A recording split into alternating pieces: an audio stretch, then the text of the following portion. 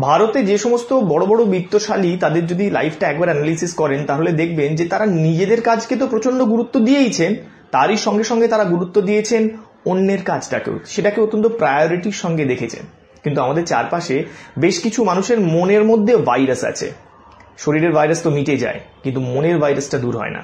তারা ভাবেন, আরে বাবা, ওই লোকটা সফল, ওই লোকটা এত টাকা ইনকাম করছে, ওর মতো তো আমিও কাজ করতাম। আরে, ও শুধুমাত্র ভাগ্যবান বলেই লাভটা পাচ্ছে। আমি নিহাত, ভাগ্য ছিল না আমার আমার ব্যাড লাক আমার সঙ্গে ষড়যন্ত্র হয়েছে, ইত্যাদি প্রভৃতি। কিন্তু আমরা কখনো মনের ভাইরাসটাকে দূর করে অন্যের কাজটাকে সম্মান দিয়ে ভাবি না। এই মনের ভাইরাস দূর করাটা খুব দরকার জীবনের জন্য। আজকে আসুন, এই মনের ভাইরাস দূর করার একটা গল্প আপনার সঙ্গে শেয়ার করি। বহুদিন আগে একজন মোটর মেকানিক ছিলেন। তিনি নিজের কাজে যথেষ্ট দক্ষ ছিলেন, দারুণ কাজ করতেন এবং তার জন্য তার যথেষ্ট জনপ্রিয়তাও ছিল।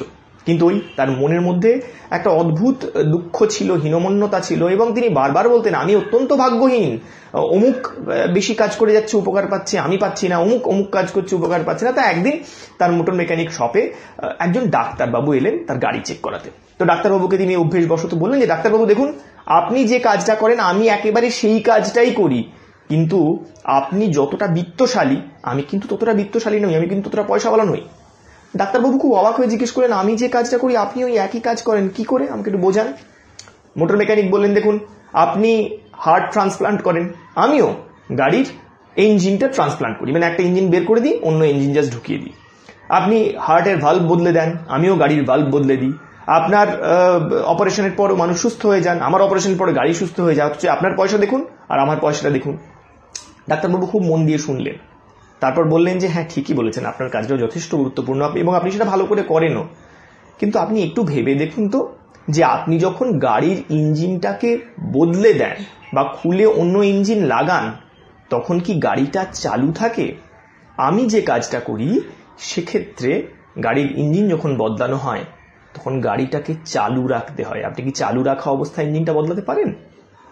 মোটর মেকানিক চুপ করে গেলেন, বুঝতে পারলেন ডাক্তারবাবুর কাজের গুরুত্ব। অর্থাৎ তিনি শিখলেন যে অন্যের কাজকেও সমান গুরুত্ব দিয়ে দেখতে হয়। আমরা যারা ভাবি যে হয়তো অন্যের কাজের সেরকম গুরুত্ব নেই, আরে বাবা, ওই কাজটা তো খুব সহজ, আমরা কখনো তার একটু তলিয়ে গিয়ে ভাবি না যে যে কাজটা অন্য মানুষ করছেন বা যে কাজটা করে অন্য মানুষ অত্যন্ত সফল হচ্ছেন, তার সাফল্যের কারণগুলো আসলে কি কি? ঠিক কি কি উনি করেছেন বা ওনারা করেছেন, যার জন্য তারা হয়তো এতটা বিত্তশালী বা তারা এতটা সফল, তারা এতটা প্রশংসা পাচ্ছেন। এই মনের ভাইরাসটা দূর করার আগে প্রয়োজন রয়েছে। সুস্থ থাকুন, ভালো থাকুন এবং দয়া করে অন্যকে সম্মানটাও করতে শিখুন। কঠিন পরিস্থিতি কেটে যায় যদি আমরা চেষ্টা করি একটু একটু করে। আজকের মান্ডে মোটিভেশনের গল্প এ পর্যন্তই।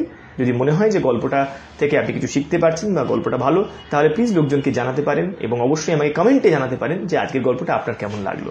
আপনার গল্প কিন্তু আমাকে ইন্সপিরেশন দেয়। আপনি যখন আপনার সাফল্যের কথা শেয়ার করেন, আপনি যখন আপনার কথা কমেন্টে লেখেন, আমি সেগুলো পড়ি, এটা কিন্তু আমাকে প্রচণ্ড রকমের ইন্সপায়ার করে। এই যে ছোট্ট ছোট্ট গল্পগুলো আমি আপনার সঙ্গে শেয়ার করি, সেটা যে শুধুমাত্র আপনার শেখা তা তো নয়, এর সঙ্গে সঙ্গে আমিও শিখছি, আমিও চেষ্টা করছি। আমি যদি পারি, আপনিও পারবেন। ইনফ্যাক্ট আপনি আমার থেকে আরও বেটার পারবেন।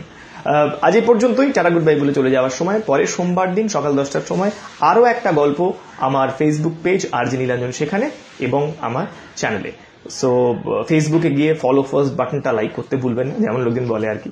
আর আমার চ্যানেলটাকেও সাবস্ক্রাইব করতে ভুলবেন না। আজ এ পর্যন্তই, পরের দিন আবার দেখা হবে আপনার সঙ্গে। টিল দেন ভালো থাকুন, সুস্থ থাকুন, এবং অবশ্যই চেষ্টা করুন যে ভাইরাসের বিরুদ্ধে আমরা যে প্রতিরোধটা তৈরি করছি, ঘর থেকে আমরা বেরোচ্ছি না, আমরা হাঁচি কাশির ক্ষেত্রে বেসিক নিয়মগুলো মেনটেন করছি, সেগুলো যেন মেনটেন করি।